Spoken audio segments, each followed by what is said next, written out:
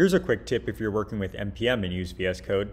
When you open a package.json file and you're wanting to learn a little bit more about a package that's listed in one of the dependencies or dev dependencies, you just can hover over it.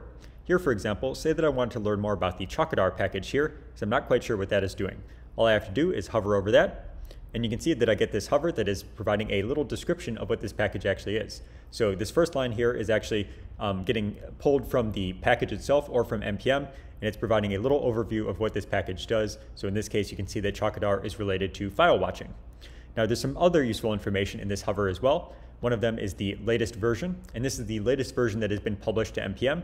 So on uh, NPM, there is a version 342 of Chokidar, but you can see here that our local version that we're using is 323. So we're a little bit out of date here, and you can use that latest version information to kind of detect when you're really out of date on something, such as for this HTTPS proxy agent dependency here, you can see that there's version 5, but we're still on version 2 here. So you can get a little overview or a sense of what is published versus the one that you're consuming currently. Now, if we go back to Chokidar here, you can see that there's also on this third line down here, a link to the repository itself. And this would be helpful if you're wanting to view the code or go to the documentation or file issues about the package in question. So I can just click on this, open up my browser here, and now I'm over in the Chokidar, uh, Chokidar repository here. So that's a quick look at VS Code's built-in package.json hover functionality.